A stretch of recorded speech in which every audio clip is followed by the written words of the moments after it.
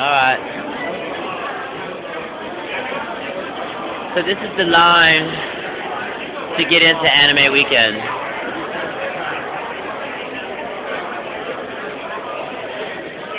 Pretty crazy.